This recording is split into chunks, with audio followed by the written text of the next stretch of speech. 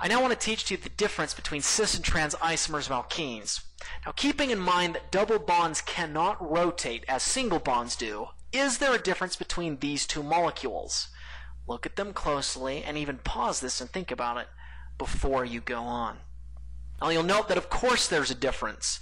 In this particular example, this methyl and this methyl are closer to each other, keeping in mind that this carbon-carbon double bond does not rotate, so these are frozen in place, unlike single bonds which can rotate freely.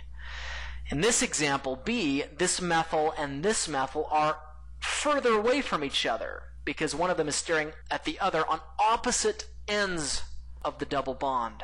Which of these two alkenes do you think is more stable?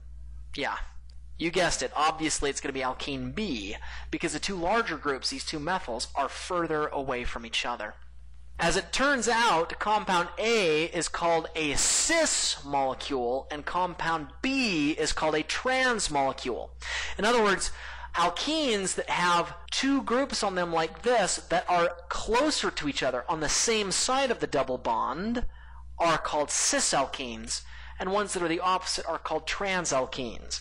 We'll talk more of that momentarily, but first I want you to remember from our last chapter that we also use the terms cis and trans to refer to the directionality of substituents on ringed compounds. So I want to emphasize that you should not confuse cis-trans of alkenes with cis-trans of cyclic compounds.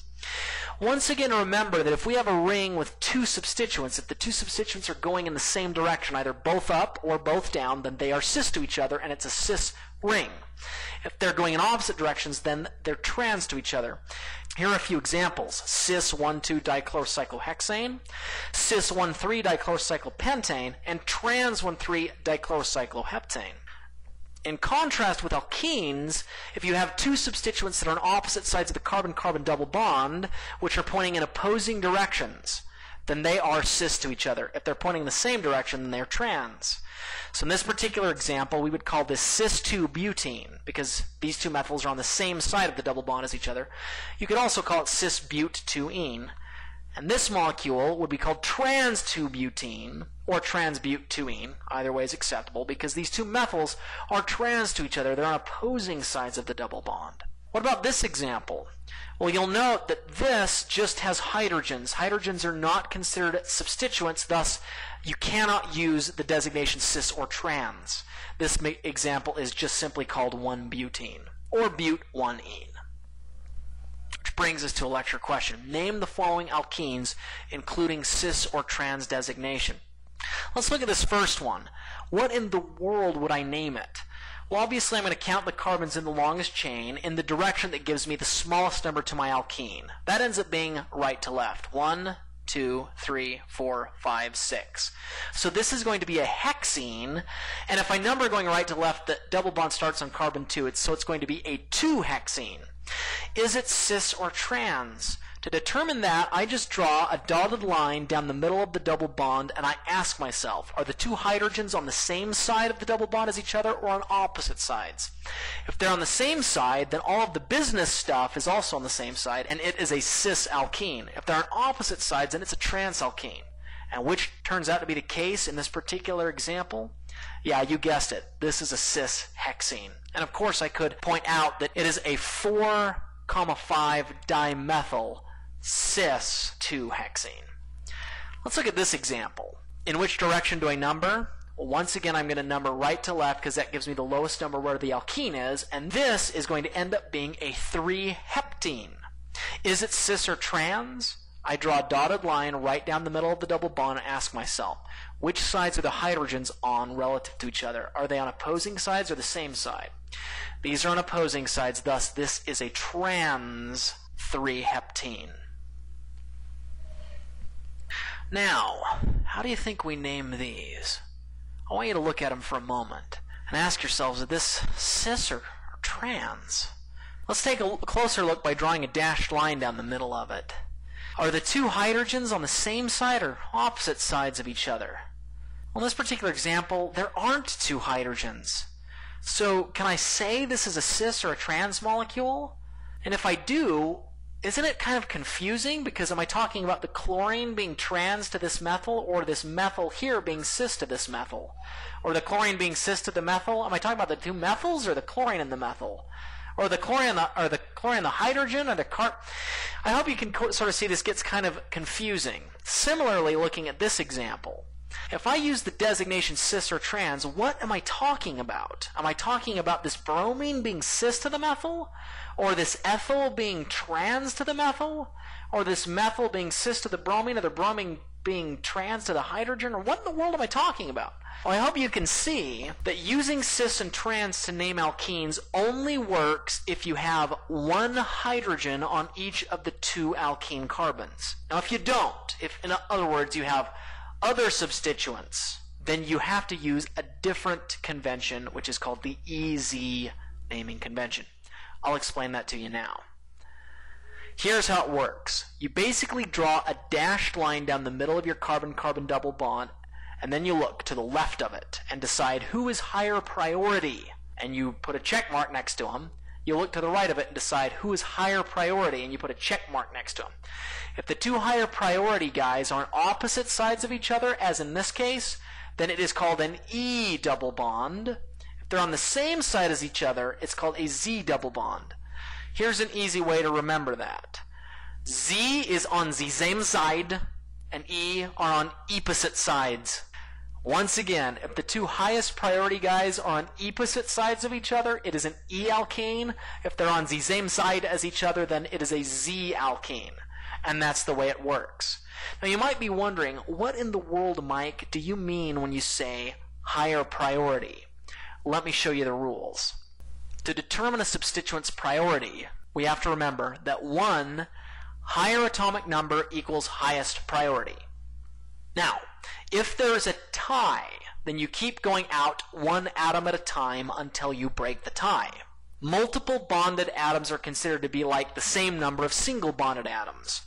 For example, if I've got this thing coming off of an alkene, it's a carbon double bonded to an oxygen, we can consider it for the purpose of determining if it's higher or lower priority as being like a carbon that's single bonded to one oxygen and single bonded to another, which is single bonded to a carbon. Here are some other examples. If I had an alkene down here and coming off of it was another alkene as a substituent, this carbon-carbon double bond would be counted for priority purposes as if this pink carbon were single bonded to one carbon in green, single bonded to another carbon in green, which is in turn bonded back to a carbon in pink. If I had this carbon-carbon triple bond coming off of our alkene, it would be as if this carbon were bonded to three separate green carbons and this green carbon were bonded to three separate pink carbons. That is how I would count it for priority purposes. Let's take a look at some examples. In this example, I'm asked to determine if this is E or Z. How in the world do I do that? What I do is I draw a dashed line right down the carbon-carbon double bond. And now I'm going to look at the two substituents on the left. I've got a carbon and a carbon. Which one has a higher atomic number, a carbon or a carbon? They're the same, so they tie. So now I move out one atom to a hydrogen, and this carbon is bonded to another carbon. Which has a higher atomic number, carbon or hydrogen? Carbon does. So this guy down here is the higher priority substituent on the left side of the alkene. Now on the right side of the alkene, I've got a carbon and a chlorine. Who has a higher atomic number? The chlorine does. So this guy is the higher priority substituent on the right side of the alkene. I've got my higher priority substituent here and my higher priority substituent down here. These two guys are on the same side of the alkene, and therefore this is a Z alkene. Let's look at this example. How do I determine who has the highest priority? I draw my dashed line down here, and I go out looking at the two substituents on the left side of the dashed line. I've got a hydrogen and a carbon. Who has a higher atomic number? The carbon does. So this methyl group is the higher priority substituent between these two. On the right side of my carbon-carbon double bond, I've got a carbon that's triple bonded to a nitrogen and a carbon that's single bonded to a nitrogen. Who has higher priority? Well, if I keep going out, the tie gets broken out here. This guy's the higher priority.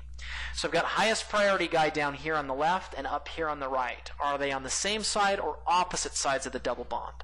Well, they're on opposite sides. And remember, if you're on opposite or opposite sides of each other, you are an E alkene. So this is indeed an E alkene. How do we name molecules that have both a carbon-carbon double bond in them and an alcohol somewhere else in them? So it turns out molecules that have both alkenes and alcohols in them are called alkenols, or sometimes just called enols. They basically come up with that name by combining the words alcohol and alkene and squishing them together to make one word alkenol, or enol, simply. Now, these are named by combining elements of the steps for naming alcohols, which we discussed in our previous chapter, with the steps for naming alkenes that we just covered. Because the alcohol component has higher priority than the alkene component, when we name an alkenol or an enol, we have to number the parent chain that gives the lowest number to the OH, not the double bond. Let's take a look at some examples. How do we name the following enols that we've just taken a look at? Here's how we do it. First of all, we decide which direction I'm going to number in. In this particular example, I'm going to number starting at this carbon right here, going right to left. One, two, three, four, five. Because it has an alkene in it, and it has five carbons in it, this is going to be a pentene. The alcohol is coming off of the pentene at carbon 1, thus it is a pentenol. This particular example, my alcohol is coming off of carbon 1, and my carbon-carbon double bond begins at carbon 2. Therefore, I'm going to call it pent 2 ene 1 ol. Now, putting everything together, you can see that at carbon 2 I have a chlorine, and at carbon 3 I have a methyl. Therefore, the entire name of this is 2-chloro, 3-methyl, pent 2 ene 1 ol. In this particular example, I could number going right to left, 1, 2, 3, 4, 5, 6. Or I could number going left to right, 1, 2, 3, 4, 5, 6. If I number going right to left, I get a smaller number for my double bond. However, the double bond is lower in priority than the alcohol, so I need to number going left to right. 1, 2, 3, 4, 5, 6 is a hexene, and with the alcohol on it, it's a hexenol. Thus, because this particular carbon-carbon double bond occurs at carbon 4, I would call it hex 4-ene 1-ol. I've got an ethyl coming off of carbon 4, so it would be called in end 4-ethyl hex 4-ene 1-ol.